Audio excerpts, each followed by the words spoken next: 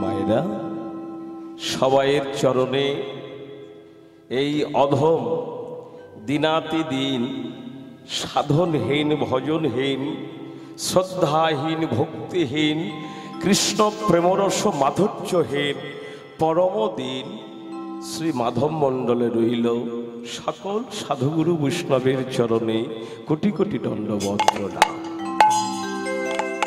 এবং এই হরিসভা যে সকল কমিটি বৃন্দ আছেন, যাদের ঐকান্তিক প্রচেষ্টা এই হরিসভা, অক্লান্ত পরিশ্রম করে এই হরিসভা, তাদের চরণে আমার কোটি কোটি দণ্ডবোধ প্রণাম জ্ঞাপন করলাম।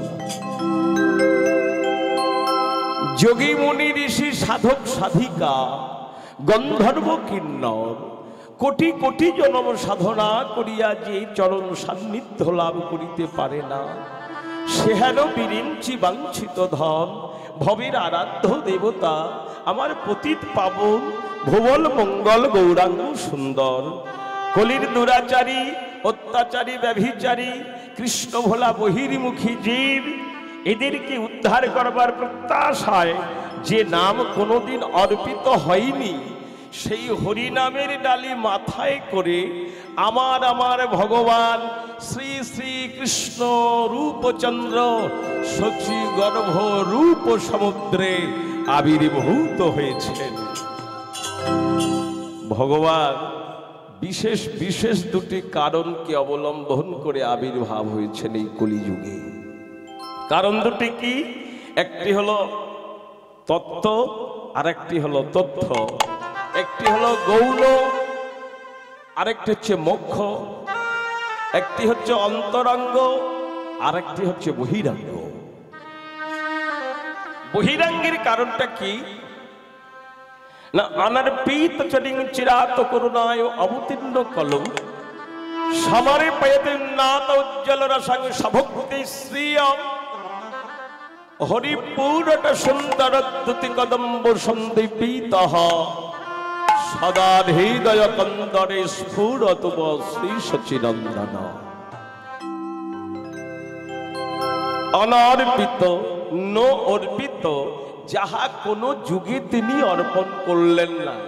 ভক্তমণ্ডলী, ভক্তিমতী মায়েরা, ভগবান যে বস্তুটা সত্য যুগে দিল না, ত্রেতা যুগে দিল না, দাপর যুগেও দিল না, দিল কলি যুগে অনর্পিত চরিং চিরাগ, চিরকাল যে বস্তুটা দেওয়া হলো না। সেই বস্তুটা কি? যেটা সত্যে দেওয়া হলো না, ত্রেতাই দেওয়া হলো না দাপরে দেওয়া হলো না, দেওয়া হলো এই কলি যুগে সেই বস্তুটা হচ্ছে প্রেম। নাম মধ্যে যে প্রেম আছে, এই প্রেমটা অন্য কোনো যুগে ছিল না। সেটা দেওয়া হয়েছে এই কলি যুগে কেন? না, সত্য যুগে মানুষের পাওয়ার ছিল খুব।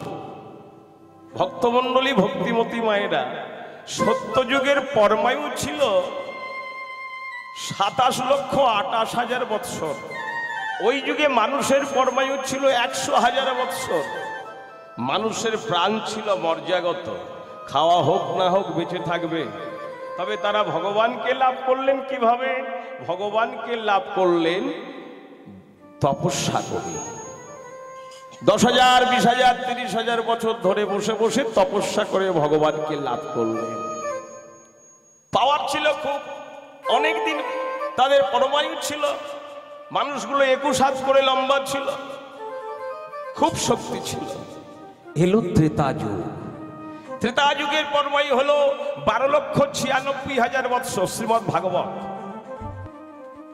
ভাগবতে বলছি, বারো লক্ষ ছিয়ানব্বই হাজার বৎসর, ওই যুগে মানুষের পরমায়ু হলো দশ হাজার বৎসর।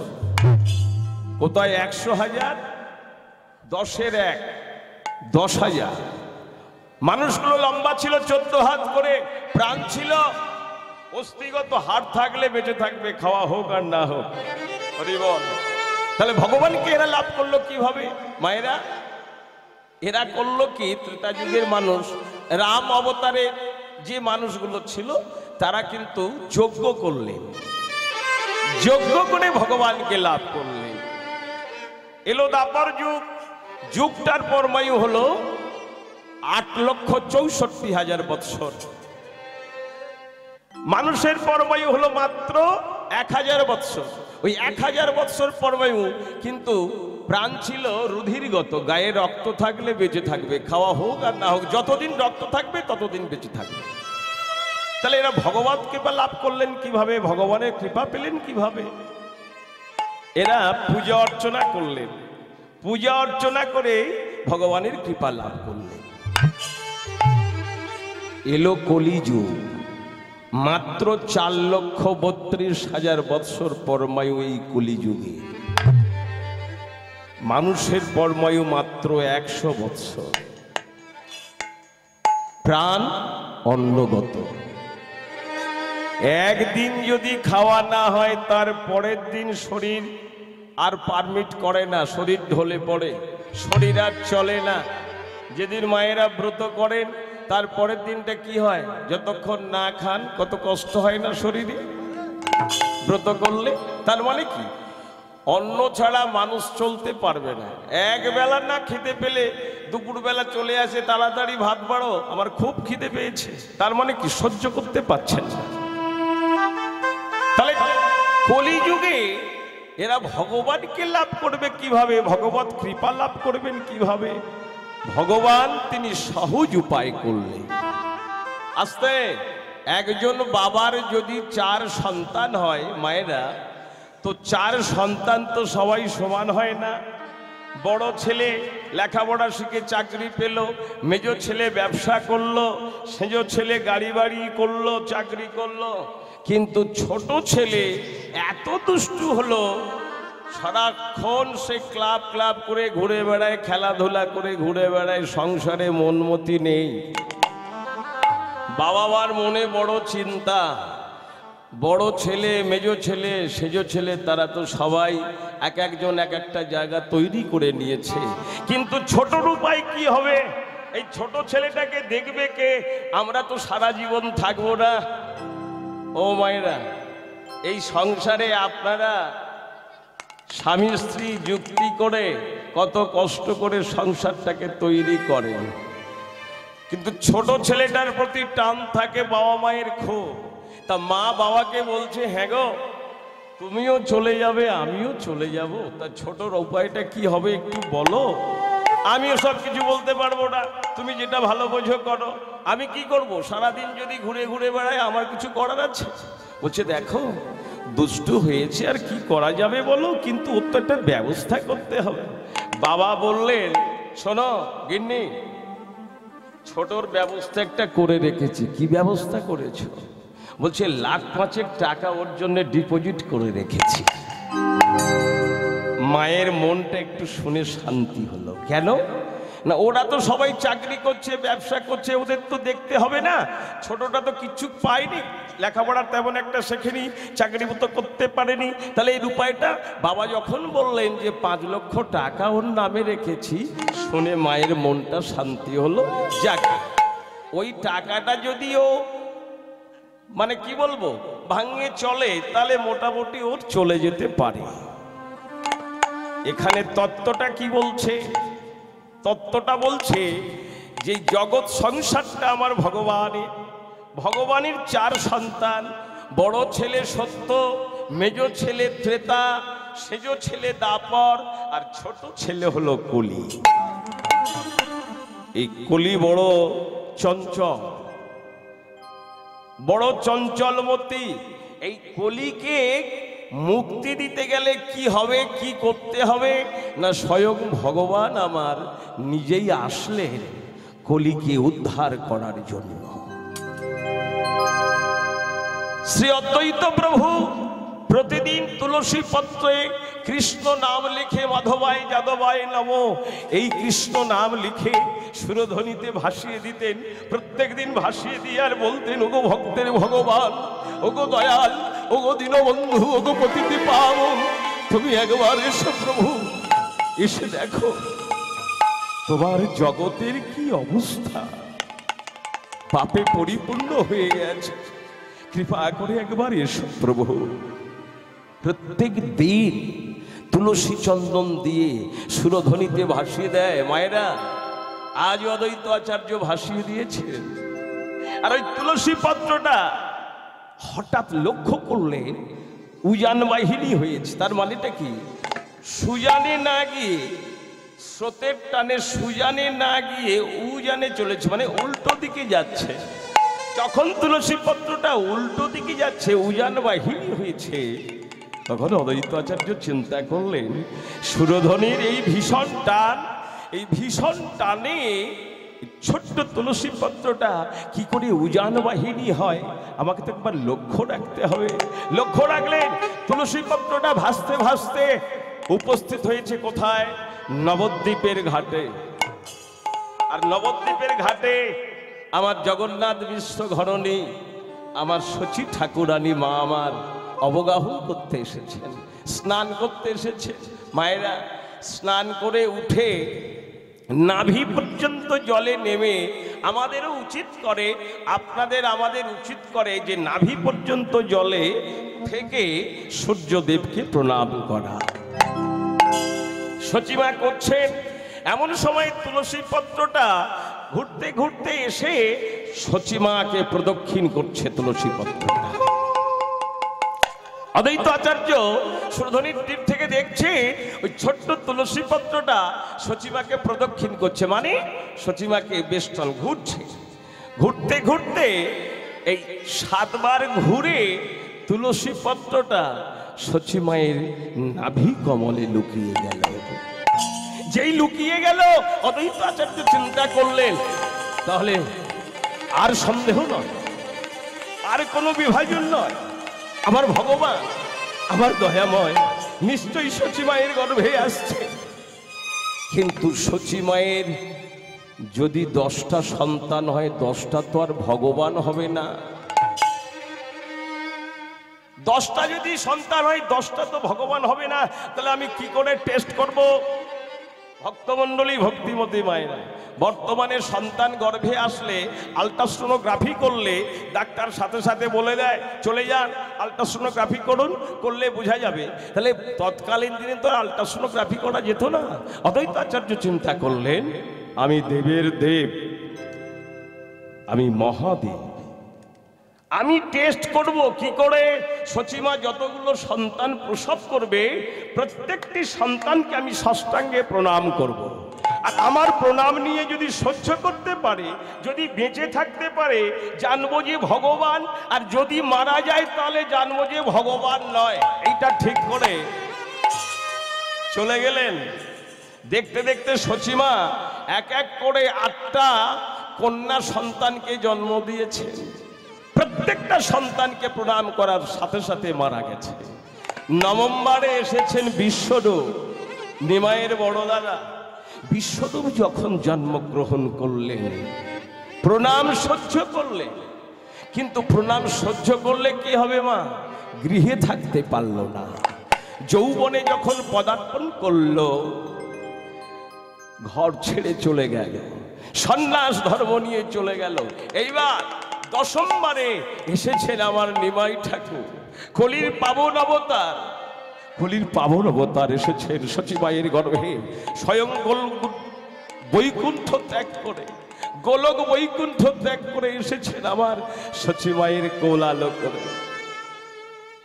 ভক্তমণ্ডলী, ভক্তিমতী মায়েরা, যতদিন যায় সচী মায়ের রূপটা পরিবর্তন হয়ে যায় মা। সুসন্তান দেব গর্ভ হয়েছে, রূপের পরিবর্তন হয়ে যাচ্ছে। সাধারণত আপনাদের আমাদের ঘরের সন্তান না মাস, সাড়ে ন মাস, দশ মাস, এতে হয়ে যায়। কিন্তু বর্তমানে ওটাও আর দেখছে না। খুব অসুবিধা হলে কাছাকাছি নার্সিংহোমে চলে গেল। ব্যাস। খুব ডিস্টার্ব দেখা দিচ্ছে। কেটে বের করে নিল। এখন আধুনিক যুগ, বিজ্ঞানের যুগ। ও সময় দেখছে না। কিন্তু তৎকালীন দিনে আমরা যে বাবা মায়ের সন্তান ছিলাম, প্রত্যেকটা বাড়ির বাবা মায়ের সন্তানরা দশ মাস দশ দিনে এসেছিল, সাড়ে ন মাস দশ দিন। কিন্তু আমার গৌরহরি তা ভাবে আসলেন না। গৌর হরি এলেন কীভাবে? তেরো মাস পরে। তেরো মাস পর শুধু এমনি এমনি জন্মগ্রহণ হলো না, তিনটি তিথি সমন্বয় করলেন। এলো ফাল্গুন মাস, পূর্ণ ফাল্গুন পূর্ণিমা তিথি, নক্ষত্র ফাল্গুনি, এই তিনটি তিথি সমন্বয় করে আর সচি মায়ের কোল আলো করে আমার গৌর সুন্দর আবির্ভূত হলেন। তাই তো বৈষ্ণব কবি লিখলেন, ওগো ফাল্গুন পূর্ণিমা তিথি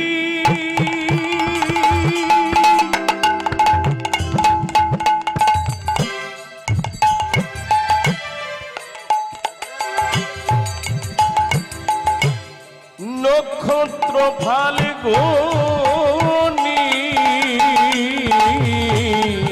ফাল্গুন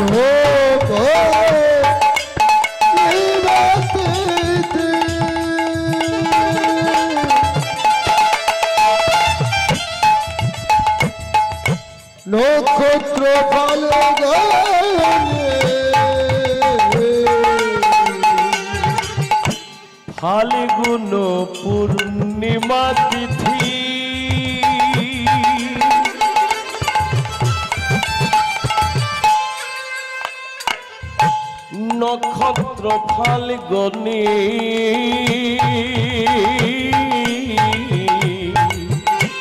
ফাল্গুন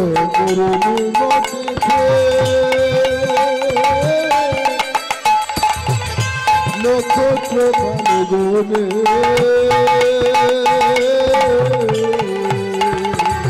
সেই শুভক্ষণে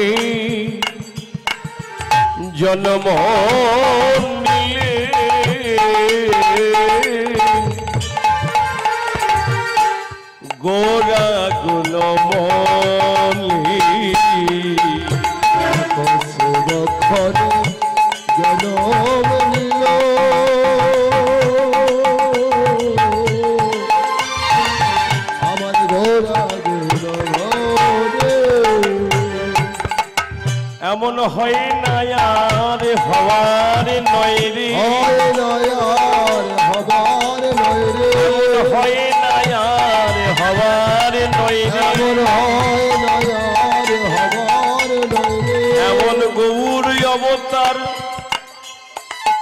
কোন কালে হয় না আর হওয়ার নয় গৌর অবতার কোন কালে হয় নয়ার হবার নয় এমন গৌর অবতার কোন কালে হয় না আর হওয়ার নয় অবতার কোন কালে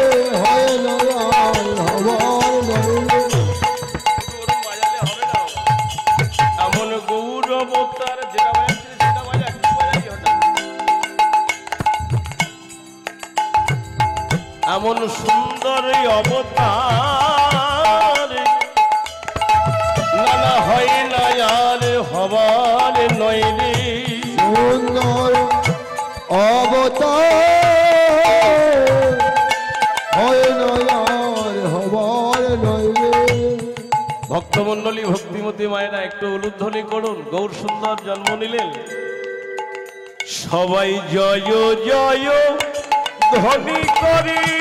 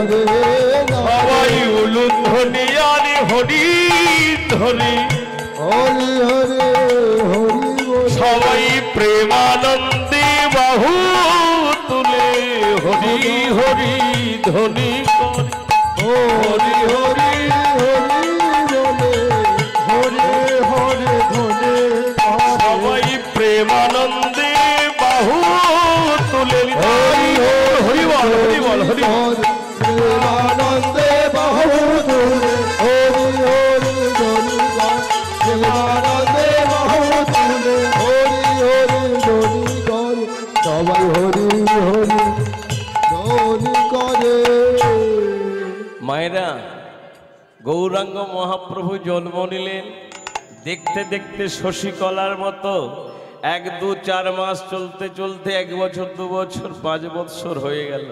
আর ওদিক অদ্বৈত আচার্য, তিনি চিন্তা করলেন শচী মায়ের দশমবারে যে সন্তানটি এসেছে, মনে হয় ভগবান এসেছে, সবাই বলা বলি করছেন অদ্বৈত আচার্য আসলেন, অদ্বৈত আচার্য এসে দূর থেকে লক্ষ্য করলেন সচিমার আঙ্গিনা আলো করে গৌরাঙ্গ সুন্দর ভক্তগণ সঙ্গে কীর্তনে মেতে আছে।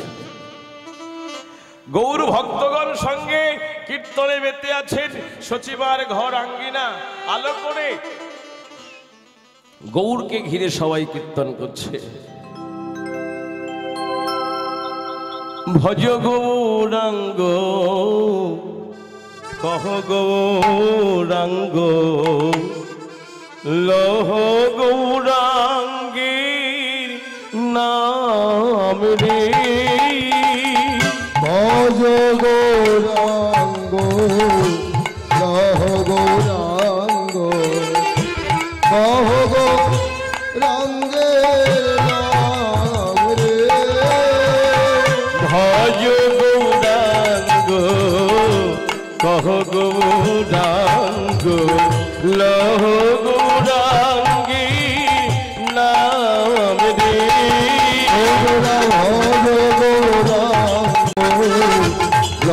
লহ গৌরাঙ্গ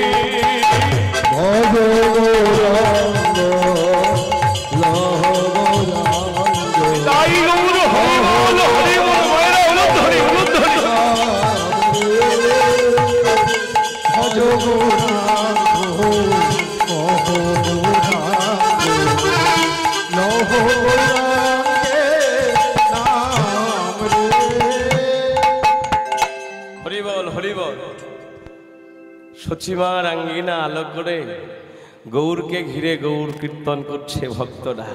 আর অদ্বৈত আচার্য চিন্তা করলেন, তাহলে আমার ডাক ভগবান শুনেছে, আমার প্রবীর ঠাকুর এসেছে।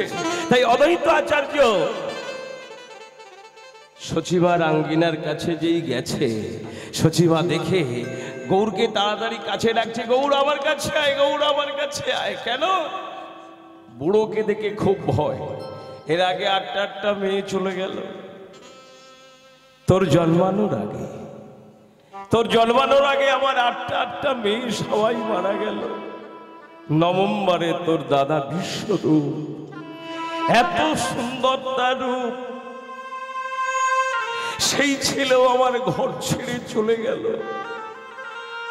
আমার কাছে থাকল না। এই দশমবারে তুই এসেছিস।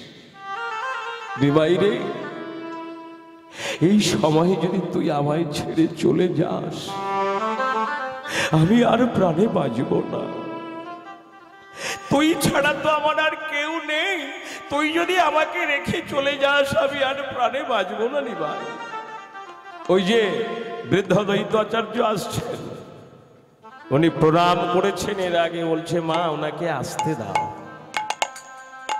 ওনাকে আসতে দাও, প্রণাম করতে দাও, দেখো কি হয়। অদ্বৈত আচার্য দূর থেকে প্রণাম জানিয়ে, অদ্বৈত আচার্য ষষ্ঠাঙ্গে গৌর চরণে যখন প্রণাম করলেন, প্রেমের ঠাকুর শ্রী গৌর আবার বাম পাটি চাপিয়ে দিলেন অদ্বৈত আচার্যের মাথার উপরে। চাপিয়ে দিয়ে বললেন, অদ্বৈত, আমি রেডিমেড ভগবান নই আমি রেডিমেড ভগবান নে, আমি সঠিক ভগবান।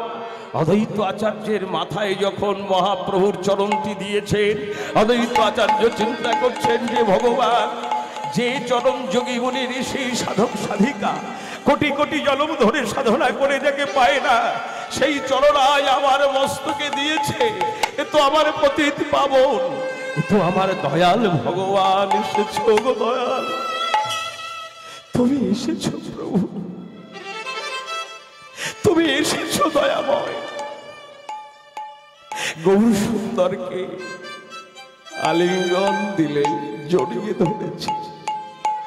ওগো কাঙালের ঠাকুর, ওগো কাঙালের ওগো কাঙালের গোবিন্দ, কাঙালের ঠাকুর, কাঙালের তুমি এসেছ দয়াময়, তুমি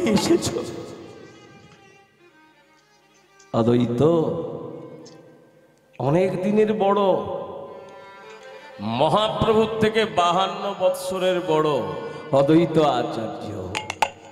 এইবার অদ্বৈত আচার্য যখন গৌরকে নিয়ে বুঝলেন যে আমার ডাকা সফল হয়েছে, আমার ডাকে ভগবান এসেছেন, আর কি কাজ বাকি থাকে? গৌর সুন্দর নিত্যানন্দ অদ্বৈত গদাধর পণ্ডিত প্রতিদিন নামের পশরা সাজিয়ে গ্রামে গ্রামে নাম বিতরণ করে চলেছে।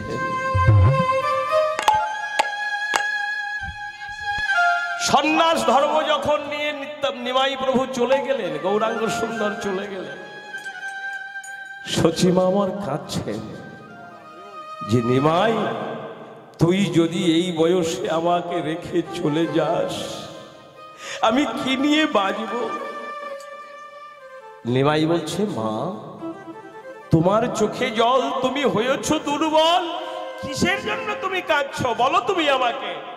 নিমাই আমি কেন কাঁদছি তুই জানিস না?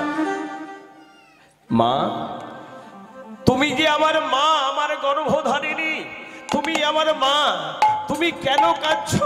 আমি জানি না। আমি সমস্ত জগতের সন্ধান সমস্ত জগতের খবর রাখি। আর তুমি ভাবছ, আমি তোমার মনের খবর রাখি না। তুমি ভাবছ, আমি তোমার মনের সন্ধান করি না। তুমি কেন কাঁদছো আমি জানি। কেন কাঁদছি দিমাই আমি সন্ন্যাস নিয়ে চলে যাব। সেই জন্য তুমি কাঁদছ। না রে দিবাই না। সত্য কথা বলো তুই জানতে পারছিস? পারব না। আমি না জানলে জানবে কে? মা, তুমি তোমার চোখের জল মোছো। আমি সন্ন্যাস নেব না, আমি তোমাকে ছেড়ে যাব না না বাবা, না।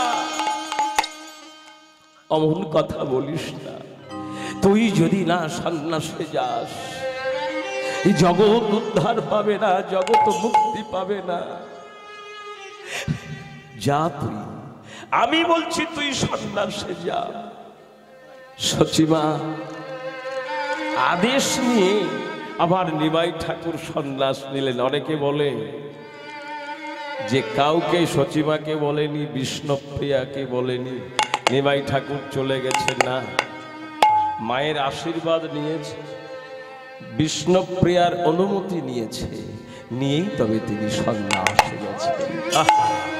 তাই আজ সচিমা আক্ষেপ করে বলছে, ওরে নিমাই নিমাই রে তুই চলে গেলে আমি কেমন করে বাজব সচিমা আমার কাঁদছে নিমাই দাঁড়া রে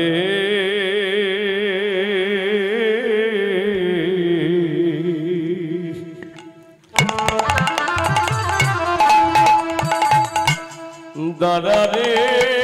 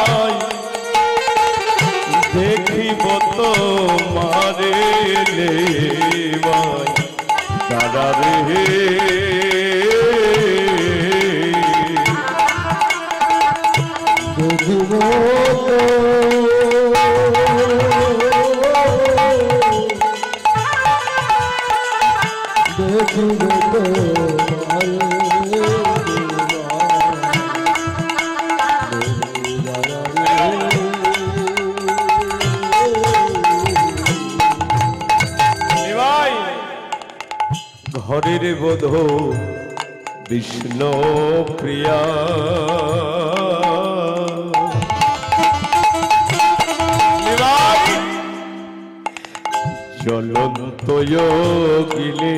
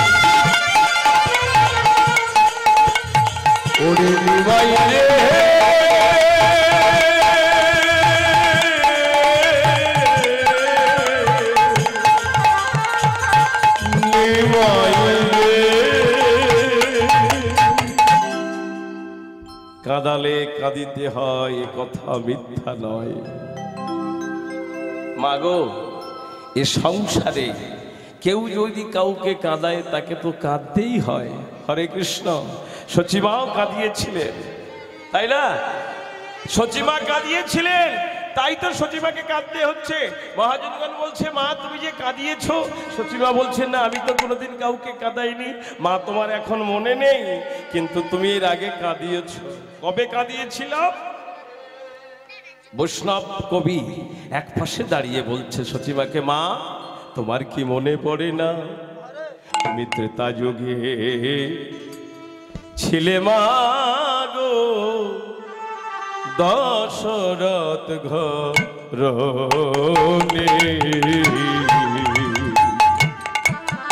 মাগো ত্রেতা যুগে তুমি ছেলে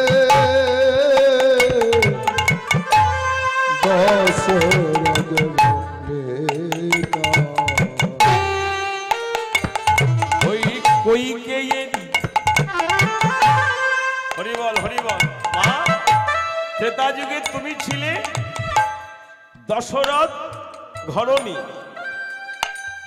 আর কৌশল্যার অভিশাপে হলে মর্তবাসিনী মাগো সে কথা কি মনে পড়ে না? সে কথা কি মনে পড়ে না? আর সে কথা কি মনে পড়ে না?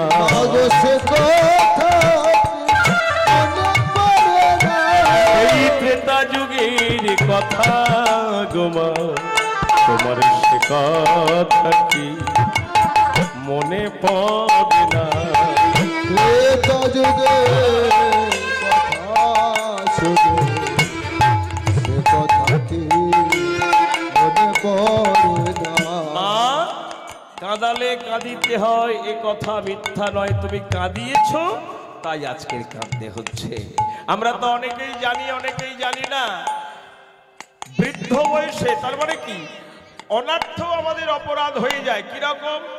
কোন কোন বৈষ্ণব রাস্তা দিয়ে যায়, আমাদের রক্তের তাড়নায় যৌবনের রক্তের তাড়নায় আমরা ওই অপমানযুক্ত ভাষা প্রয়োগ করি বৈষ্ণব থেকে বৈষ্ণব কিছু বলে না, কিন্তু ভগবানের খাতায় লেখা হয়ে যায় হরিবল হরিবল অপরাধ যদি কেউ করে, এ রাজা দশরথ অপরাধ করেছিল। কোথায়? না এই যে শ্রমিক মুনির ছেলে অন্ধমণির ছেলে সিন্ধুমণিকে শব্দভেদী বান মেরেছিল। সেই শব্দভেদী বান মরেছিল বলে দশরথকে কাঁদতে হবে, কথা দিয়েছে। আর কইকেই মানে সচিমা অপরাধ করেছে কি? না, সচিমা অপরাধ করেছেন কৌশল্যা ছেলে রাম রাজা হবে, আর কৈকেই ছেলে ভরত রাজা হবে। এই দুজনা, এ কথা তো আপনারা সবাই জানেন। বিবাদী হয়ে বনে পাঠিয়ে দিল। রাম রাজা হবে কৈকেয়ী মাতা, মালা গাচ্ছে। আর বাপের বাড়ির দাসী মন্থরা এসে বলছে, এই কৈকে মালা গাচ্ছিস কেন? বলল, আজ আমার রাম রাজা হবে। দূর অপদার্থ মেয়ে ছেলে কোথাকার? রাম রাজা হবে, তাতে তোর লাভ কি হবে? রাম রাজা হলে কৌশল্যা হবে রাজমাতা তোর লাভ তাতে কি?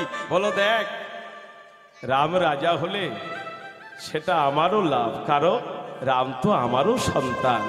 আমি রামের গর্ভে ধরিনি, তা কি হলো? রাম আমারও সন্তান, তুই অমন করে বলিস না। কিন্তু সতের শত্রু বেশি, অসতের বন্ধু বেশি, তাই না? সমাজে যারা ভালো কাজ করে, তাদের শত্রু বেশি, আর অসতের বন্ধু বেশি। যারা বৈষ্ণব, যারা তিলক সেবা করেছে, মালা সেবা করেছে, নাম কীর্তন দিয়ে পাড়ায় পাড়ায় বেড়াচ্ছে, তাদের সম্মান নেই। একজন মুখ্য পেটে কলমের আচর নেই, সে যদি সুল্লু খেয়ে রাস্তায় ঘুরে বেড়ায়, আমরা তাকে চেয়ার ছেড়ে দিই, আসুন বসুন, তাকে সম্মান দিই। কেন? হাতে পিস্তল আছে। তাহলে সম্মানীয় ব্যক্তির সম্মান নেই। সতের শত্রু বেশি, অসতের বন্ধু বেশি। তা হলেও লাভ আছে। তাই বলে অসৎ পথে চলবেন না। সৎ পথে চললে হয়তো প্রথম প্রথম একটু কষ্ট আসে জীবনে, কিন্তু পরে এত আনন্দ পাওয়া যায়, সেটা বলে বোঝানো যায় না। মাতা কইকেই যখন মন্থরার কথায়, কুমন্ত্রণায় বারবার কানের কাছে বলছে, যা তুই চেয়ে নে, সেই যে তুই সেবা করেছিলিস, তোর দুটো বর ডিউ আছে না? তার স্বামী সেবা করেছি। আমি কি বল, বলছি, একটা বর চাইবি, তোর ছেলে ভরত রাজা হবে, আর দ্বিতীয় বর চোদ্দ বছরের জন্য রামকে বনবাসে যেতে হবে। আচ্ছা এখানে ভক্তমণ্ডলী, ভক্তিপতি মায়েরা, আমরা সবাই জানি যে এটা কইকেই বলিয়েছে কইকেই বলেছে। কেন? রাম যদি ভগবান হবে, তাহলে কৈকের মুখ থেকে এই কথাটা বলালেন কেন? না বলাতেই তো পারতেন। তিনি বলিয়েছিলেন, আর কইকেই জগৎকে শিক্ষা দিলেন যে, হে জগৎ, তোমরা আমরা থেকে শিখে নাও। আমি রাজ ঐশ্বর্যের সুখে, ইন্দ্রিয় সুচরিতার্থের লোভে, আমি আমার ভগবানকে পুত্র রূপে পেয়ে, আমি যখন তাকে তাড়িয়ে দিয়ে আমার জন্ম জন্ম কাঁদতে হলো, এই জগৎবাসী তোমরা আমার থেকে শিখে নাও। তোমরা কেউ একটা সরকারি চাকরি করে, কিছু টাকা ব্যাংক ব্যালেন্স করে, একটা পাকা বাড়ি বেঁধে, অনেক টাকা পয়সা করে অহংকার মঞ্চে বসে তোমরা যেন আমার মতো ভগবানকে তাড়িয়ে দিও না। তাহলে জন্ম জন্ম ধরে আমার মতো তোমাদের কাঁদতে হবে। কইকেই মাতা, অভিশাপ করতে যাবে কি? রাজার কাছে চলে গেলেন মহারাজ। প্রথম পরে রাজা হবে, আমার ছেলে ভরত। বেশ, তোমার ছেলে রাজা হওয়া আর রাম রাজা হওয়া তো একই ব্যাপার। দ্বিতীয়বার দ্বিতীয়বার চোদ্দ বছরের জন্য রাম বনবাসে চলে যাও। এখানে কৈকের দোষ। আমরা সবাই দেখি কৈকেই বিবাদী হয়ে বনে পাঠিয়ে দিল রামকে।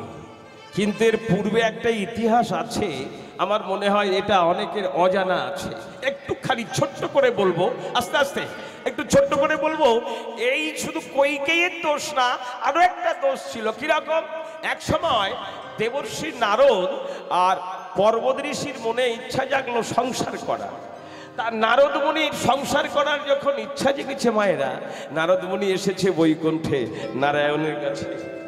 ভগবান, দয়াময় আমার বড় সংসার করার বাসনা জেগেছে। সে কি না নারদ বলছে হ্যাঁ প্রভু, তা বেশ ভালো তো। তা তুমি একটা বিয়ে থা করে ফেলো। বলছে, ঠাকুর, বিয়ে তো করব। একটা মনের মতো কিন্তু পাত্রী আমি পাচ্ছি না। মনের মতো একটা আমার উপযোগ্য, আমার যোগ্য একটা পাত্রী আপনি সন্ধান করে দিন। আমি বিবাহ করে সংসার করতে চাই। ভগবান বললেন, শোনো এক জায়গায় তোমার উপযুক্ত একটা পাত্রী আছে, একটা কন্যা আছে। কোথায়?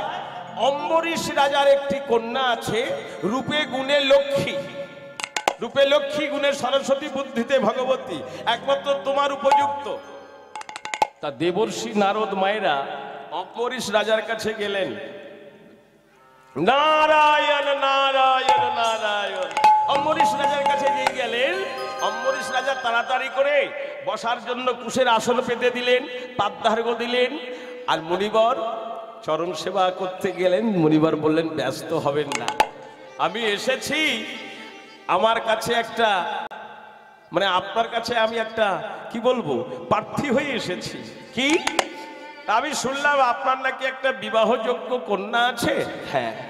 তা যদি আপনি অনুমতি দেন, বলুন আপনি। আমার সঙ্গে যদি আপনার কন্যাটাকে বিয়ে দেন। অম্বরীশ রাজা বললেন, মণিবর, এ তো আমার সৌভাগ্য। আমার মেয়ের সৌভাগ্য। আমার মেয়ে যে আপনার মতো কৃষ্ণ ভক্ত একজন ঋষিকে যদি এটা কি আমার সৌভাগ্যে হবে? তবে আমার মেয়েকে জানাব। মেয়ে তো এখন পূর্ণ বয়স হয়নি। পূর্ণ বয়স হলে আমি আপনাকে জানিয়ে দেব। বেশ দেবর্ষি নারদ চলে এলেন। ওদিকে পর্বত ঋষি ভগবানের কাছে গেলেন, ভগবান, দয়াময়, একটা সংসার করার বড় ইচ্ছা। বলে, বেশ, সুন্দর একটা পাত্রের সন্ধান দিন। ঠাকুর নারায়ণ কি করেছে মা? ওই অম্বরীশ রাজার মেয়ের কাছে পাঠিয়ে দিল, অম্বরীশ রাজার বাড়ি পাঠিয়ে দিল। যে অম্বরীশ রাজার বাড়ি পাঠিয়ে দিল, পর্বত ঋষি এসে একই প্রস্তাব জানালেন। বিপদে পড়ে গেলেন অম্বরীশ রাজা। দুজনেই খুব তেজস্বী। দুজনেই খুব তেজস্বী ঋষি। পর্বত ঋষি আর নারদ ঋষি। এখন কি করবেন? পর্বত ঋষির কাছে বললেন, অম্বরীশ রাজা আপনি এক কাজ করুন, আপনার কিছু আগে, আসার কিছুক্ষণ আগে একজন এসেছিলেন, কে না দেবশ্রী নারদ এসেছিলেন। ওই একই প্রস্তাব নিয়ে, আপনিও সেই প্রস্তাব নিয়ে এসেছেন। এক কাজ করুন, আমি আপনাদের জন্য একটা স্বয়ম্বর সভা করব। আমার মেয়ে আপনাদের যাকে পছন্দ করবে, তাকে বিয়ে করবে। ব্যাস পর্বত ঋষি শুনে চলে গেলেন। এইবার দেবর্ষী নারদ যখন জানতে পারলেন যে পর্বত ঋষি গিয়েছিলেন, অম্বরীশ রাজার মেয়ে বিয়ে করতে, তাড়াতাড়ি করে চলে গেলেন ঠাকুরের কাছে। দয়াময়, বলো নারু, বললে প্রভু, একটা কাজ করে দিতে হবে। কি কাজ? বলছে, আর বলবেন না, আপনি যে পাত্রীর সন্ধানটা দিয়েছিলেন, আমি গিয়েছিলাম, কিন্তু বিয়েও দেবে, রাজিও হয়ে গিয়েছিল। কিন্তু মাঝখান থেকে একটা দুর্ঘটনা ঘটে গেল কি? না, খরিদ্দার আর একজন বেড়ে গেছে। খরিদ্দার বেড়ে গেছে মানে? আরে আমি আসার পর আর একজন আর একজনটাকে না? পর্বত ঋষি গেছে। পর্বত ঋষি গিয়ে বলেছেন যে, অম্বরীশ রাজার মেয়ের বিয়ে করার কথা। এখন অম্বরীশ বড় চিন্তায় পড়ে গেছেন, কি করবেন? তাহলে স্বয়ম্বর সভা করবেন বলেছেন। তা আমি আপনার কাছে এসেছিলাম, তা কি করতে হবে আমার? প্রভু, একটা কাজ আপনাকে করতে হবে। কি করতে হবে? না ওই পর্বত ঋষির মুখটা বানরের মতো করে দিতে হবে। পর্বত ঋষির মুখটা যদি বানরের মতো হয়ে যায়, তাহলে আমার মুখটা ভালো থাকবে। আমি গেলে মানে নারদ বলছে তো, আমার থেকে পর্বত ঋষি দেখতে খুব সুন্দর। পর্বত ঋষি আমার থেকে রূপে গুণে অনেক সুন্দর। তা সেই জন্য ওকে পছন্দ করবে। তা ওর মুখটা যদি তুমি বানরের মতো করে দাও, তাহলে ওর গলায়ের মালা দেবে না? ব্যাস, নারদ বলে, চলে এসেছে। মাগ পরে গিয়েছে আমাদের পর্বত ঋষি। পর্বত ঋষি গিয়ে বলছেন ঠাকুর, কি ব্যাপার? তুমি আবার কি করতে এলে? আর বলবেন, না, আপনি যে মেয়ের সন্ধানটা দিলেন, গেলাম। কিন্তু গিয়ে দেখলাম আমাদের বেটা নারদও গিয়ে উপস্থিত হয়েছে। নারদও নাকি গেছে। তা সেই জন্য প্রভু, আমি এসেছি আপনার কাছে। কি ব্যাপার? না, এমন একটা কাজ করে দিন যাতে নারদ ঋষিকে না বিয়ে করে আমাকে যেন বিয়ে করে। তা কি করতে হবে? পর্বত ঋষি বললেন, আপনি নারদের মুখটা একটা হনুমানের মতো করে দিন। নারদের মুখটা যদি হনুমানের মতো হয়ে যায়, তাহলে ওকে আর বিয়ে করবে না, আমাকে বিয়ে করবে।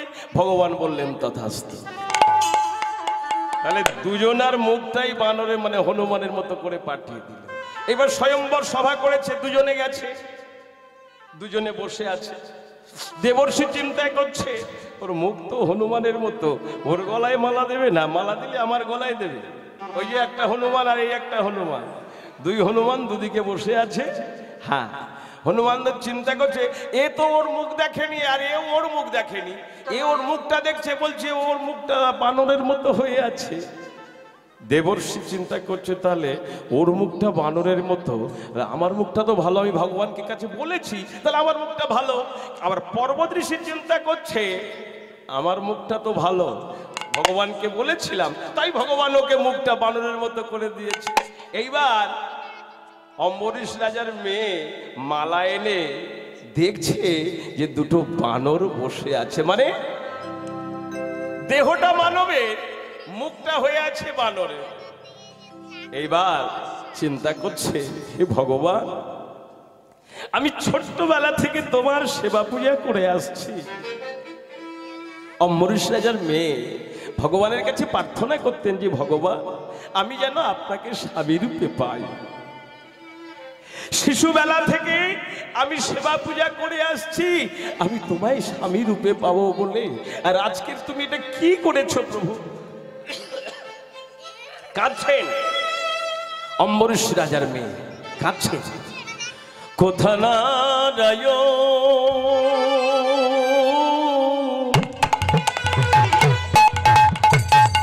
শ্রীমধু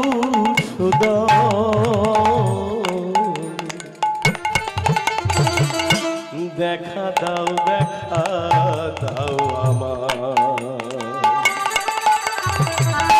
কোথা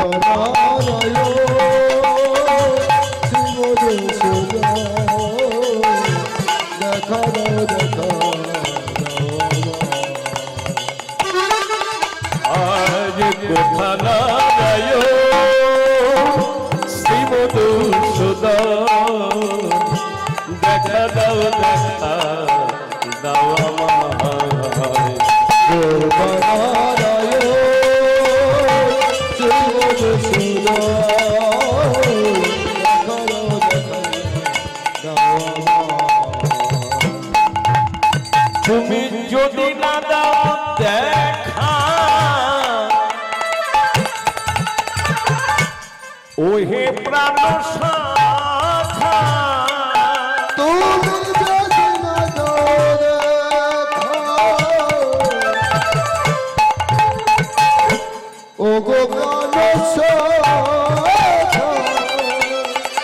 তুমি যদি না দাও দেখা।